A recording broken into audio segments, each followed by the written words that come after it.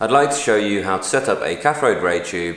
Uh, they come in all different shapes and sizes. This one is a diffraction tube which is used for showing um, electron diffraction. Uh, there's Maltese crosses, there's Perrin tubes and there are deflection tubes but they all essentially have the same setup. So I never knew how to set these up and I used to search quite a lot um, just for a video on how to set up so I'm going to try and be as quick as possible.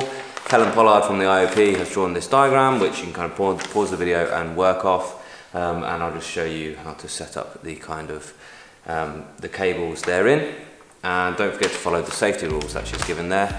Also it's a good idea to be looking up obviously CLEAPSS and do your own risk assessment before that you do these things. This stand is probably the most uh, kind of frightening part of this assembly. I think it looks like it's really technical, but it's not. It's literally just a stand for that. Start these sliders back where they are, okay, so that you can just kind of pop your tube into place like so, and then collars towards the end means that it's not going to jump out at anyone. Okay, so we're clearly going to need our EHT. It goes from about 0 to about 7 kilovolts, okay? So high tension supply, extra high tension supply, it's called EHT. Um, and it's got a feature that should really be interesting, and important to you, which is that it, it always goes through a 50 mega ohm resistor. So you're quite safe really, you're never going to get a very high current from these things. But still, we, you would get a jolt, I've had a jolt myself, and you want to keep these away from kids. First thing to do, I think, is to plug in the cathode, which is the most important part probably of the whole shebang. So I'm going to start with that. We're going to use sheathed cables, okay, so cables where there are no exposed electrical contacts. I'm going to use a black wire because, well, black is negative in my eyes if it's not blue. And on the back of there, there is a negative port. There's a little minus in a, in a circle, which you need to look out for, which is a negative port. Then the next thing to do would be the, the anode, and the anode is positive, so I'm going to use a red one. You can, in this case, just use one of the sheathed wires from the first port there is absolutely fine to the anode just there. Um, the anode, in this case, there's only one kind of connector that's pretty obvious there. This is Then make sure you do this. This is the earth wire there. Earth port is green. You could use a green wire, but I wanted to use these thicker, less exposed wires for in this case. And the last thing to do is to connect the AC section, which you can see is just here. it doesn't really matter which way around these go, but I'm just going to go black into black. And this one. And then of course red into the other one. We're going to need to use a piggyback and 3 mil connector for the final part there. That should be everything absolutely fine. Turn it on, always starting it from 0 volts. Increase the potential difference gradually until hopefully see that green spot appear on the screen which shows you that it's working. Power it down as well in the same way, gradually, and turn it off and everything's fine.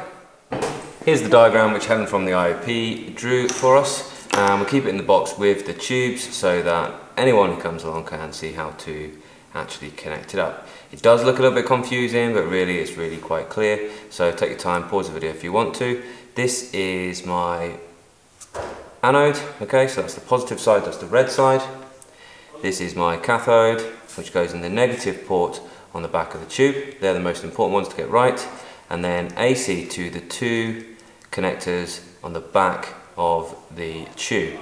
That is less uh, risky because that's only a think, 6 volt power supply, 6 volt AC for there.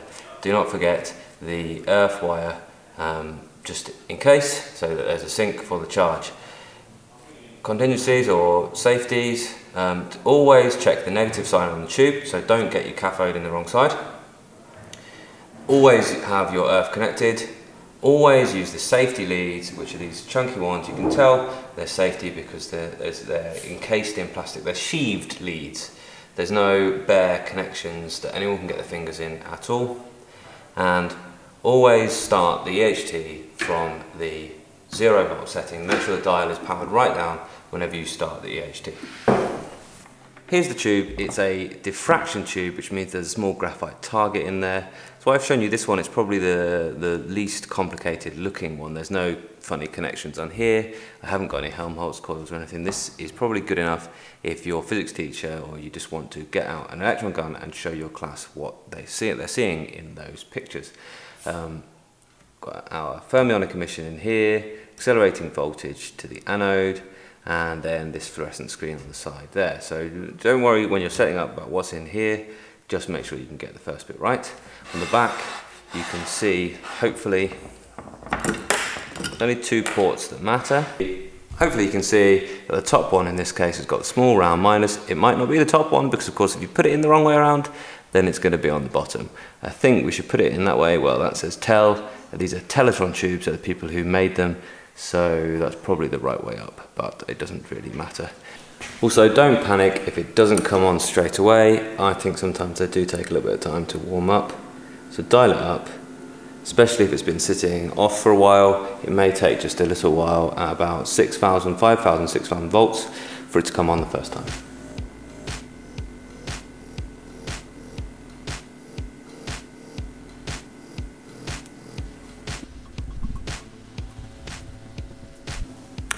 So the beam of electrons is coming from our thermionic emission there, accelerated here and through to our screen. Can't see it, it's not fluorescing anything in the vacuum of the chamber, but it is fluorescing on this screen here.